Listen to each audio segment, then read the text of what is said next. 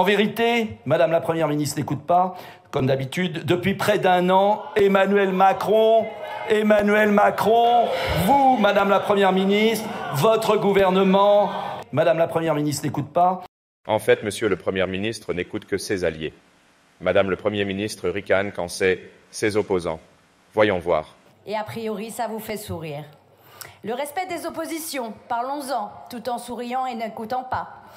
Outre le fait de garantir la vie démocratique, Carnet n'a eu de cesse de renvoyer les Français dos à dos, de pratiquer le deux poids deux mesures, les retraités contre les actifs, les jeunes contre les moins jeunes, les salariés contre les chômeurs, les patrons contre les employés, les vaccinés contre les non vaccinés.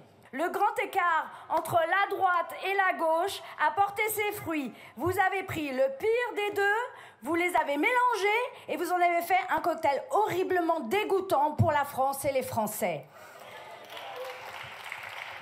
Ok, technocratisé, hyper centralisé, tout est lié. Fragilité de notre économie, technocratie parisienne étouffante.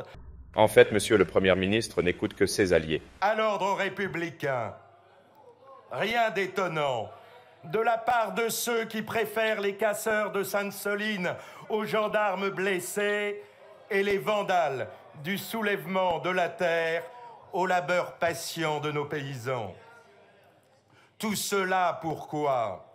Pour assister au mariage de la carpe LFI et du lapin RN. Monsieur Nicolas Dupont-Aignan pour cinq minutes.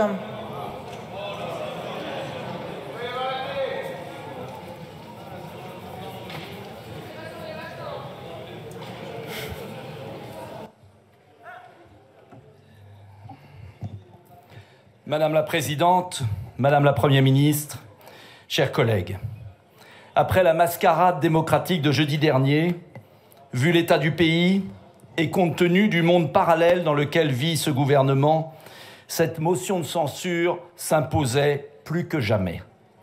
Je pourrais évoquer votre gestion catastrophique de nos finances publiques, avec notamment la poursuite, et j'insiste, d'emprunts d'État à taux variables indexés sur l'inflation, véritable cadeau aux banques et aux marchés financiers qui nous ont coûté en 2022 15 milliards d'euros, soit près de deux fois la réforme des retraites que vous avez imposée contre les plus modestes.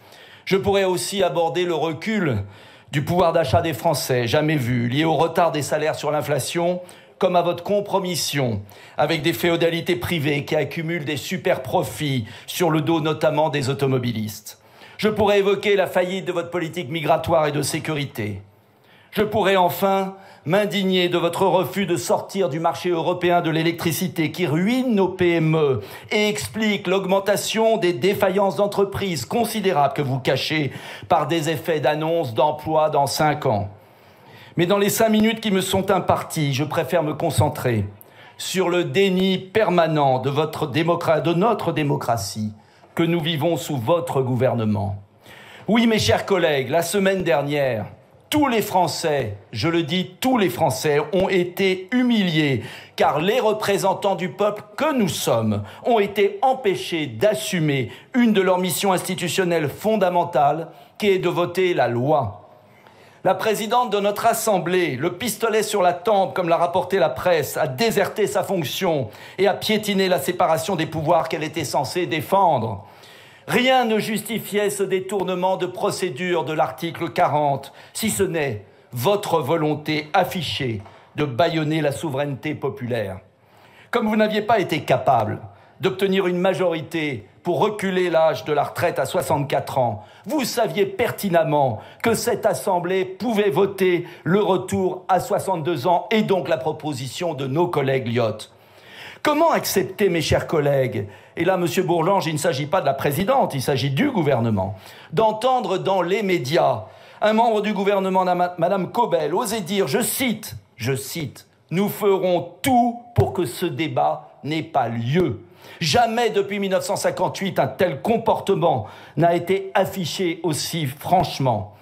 En vérité, Madame la Première ministre n'écoute pas, comme d'habitude, depuis près d'un an, Emmanuel Macron, Emmanuel Macron, vous, Madame la Première ministre, votre gouvernement et votre minorité parlementaire n'acceptez pas le verdict des élections législatives.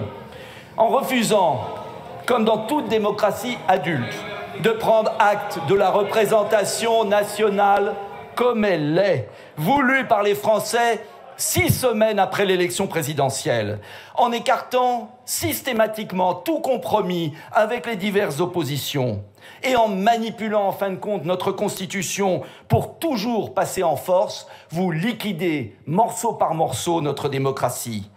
Madame la Première ministre, J'entends d'ici le discours que vous allez prononcer dans quelques instants, mais pas un Français ne peut être dupe de votre discours mielleux, prétendant rechercher le dialogue et l'apaisement, alors que vos actes sont ceux en permanence de la provocation et du déni de démocratie. Vous donnez d'ailleurs des leçons de, de, démocratie à la terre entière. Et ici même, vous refusez aux représentants du peuple le droit d'initiative législative, car c'est de cela dont il s'agissait jeudi dernier. Et vous allez pleurer ensuite sur l'abstention qui mine nos institutions, alors que c'est votre mépris du peuple qui écœure chaque jour un plus grand nombre de nos compatriotes. Mais l'histoire de France nous a heureusement appris qu'on ne peut pas éternellement gouverner contre le peuple. Si ici même, chers collègues, nous, représentants de la nation, acceptions sans réagir la forfaiture de la semaine dernière, nous perdrions définitivement l'estime et le respect de nos concitoyens. Alors, la rue deviendrait le seul exutoire de la colère populaire.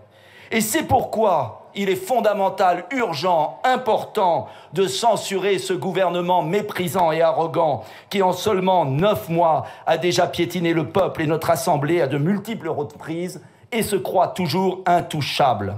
Mes chers collègues, nous ne redresserons la France qu'avec la confiance des Français. Voilà pourquoi nous ne devons pas avoir peur de la menace de dissolution, car c'est au peuple français de trancher le conflit de légitimité entre un président isolé et une assemblée de moins en moins gouvernable. Je vous remercie. La discussion est close. Je vais mettre aux voix maintenant la motion de censure. Le scrutin est annoncé dans l'enceinte de l'Assemblée nationale. Je rappelle que seuls les députés favorables à la motion de censure participent au scrutin et que le vote se déroule dans les salles voisines de l'hémicycle. Le scrutin va être ouvert pour 30 minutes. Il sera clos à 18h25. Je vous indique que dès après l'annonce du résultat du scrutin, nous examinerons la proposition de loi visant à faciliter le passage et l'obtention du permis de conduire. Elle est en procédure d'examen simplifiée. Il y a 13 amendements à examiner donc nous pourrons l'examiner avant euh, la suspension de 20 heures. Je vous remercie. La séance est suspendue. Acquise pour l'adoption de la motion de censure, soit la majorité absolue des membres composant l'Assemblée, 289. Pour l'adoption, 239. La majorité requise n'étant pas atteinte, la motion de censure n'est pas adoptée.